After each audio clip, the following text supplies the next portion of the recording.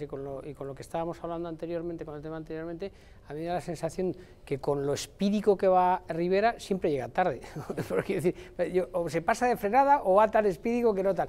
Porque eh, en, en Cataluña Arrimadas tenía que haberse presentado en su momento y tenía que haber hecho, tenían que haberse quedado allí probablemente a seguir consolidando, digamos, el constitucionalismo, porque no debemos de olvidar que en el Parlamento catalán hay si no me equivoco, solo un representante del Partido Popular, y Vox no está, ni se le espera en principio. Son tres o cuatro.